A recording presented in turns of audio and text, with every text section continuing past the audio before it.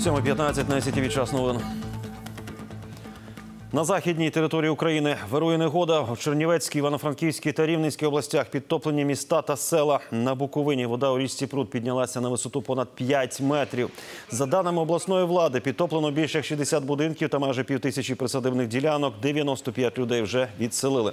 Під загрозою опинилося і газопостачання. Розподільчу трубу, яка забезпечує Чернівці газом, вимкнули, поки газовикам вдається підтримувати тиск із резервного напрямку.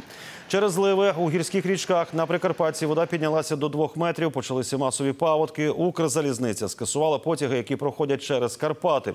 Рівне накрила потужна злива. Рясний дощ затопив частину вулиць, дороги та приватні будинки жителів. Рівень води подекуди був до метра. Майже півсотні рятувальників важкою пожежною технікою допомагали городянам долати наслідки стихії, витягували затоплені автомобілі, рятували з водяної пастки людей. Роботи тривали майже всю ніч. Від рясної зливи постраждали ще три райони області.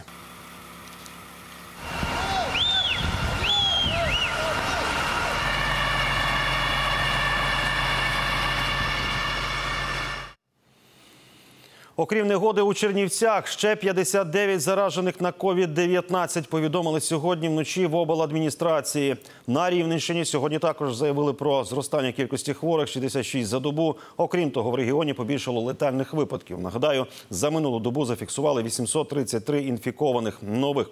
314 людей одужали, 23 врятувати Вибачаюсь, не вдалося.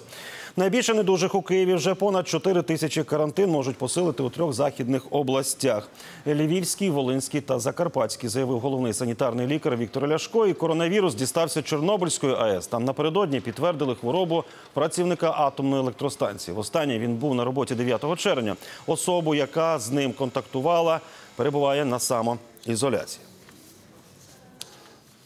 На фронті поменшало ворожих атак цієї ночі. Російські найманці тричі відкривали вогонь. Із мінометів прилітало по захисниках Широкіного. Це біля Маріуполя. Із легшої, е, з легшої зброї атакували позиції армійців неподалік Старогнатівки та хутора Вільного. Обійшлося без втрат у нашому війську. Минулої доби окупанти чотири рази порушили так званий режим тиші.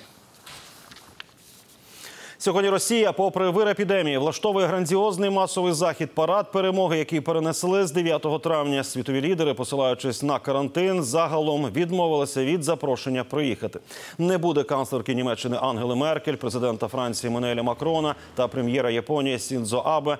Не прийде навіть друг Путіна, президент Чехії Мілош Земан. Підтвердили присутність глави 12 держав, зокрема очільники Сербії, Білорусі, Молдови, Казахстану, Киргизії, Таджикистану та Узбекистану.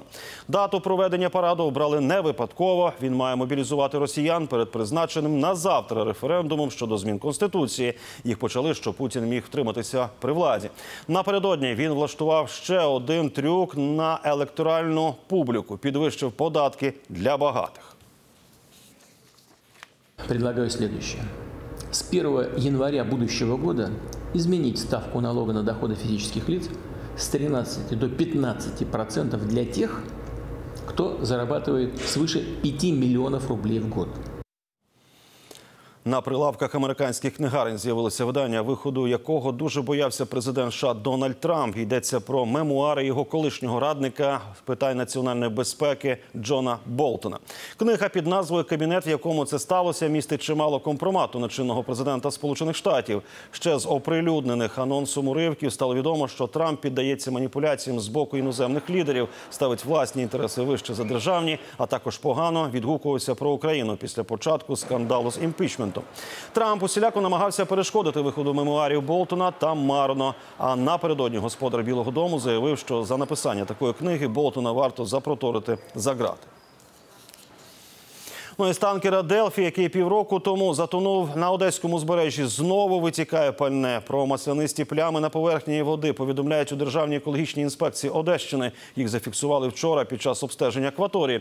Однак в Одеській ОДА це заперечують, кажуть, порівняно з першим витоком 21 червня рівень забрудненості води зменшився у сім разів.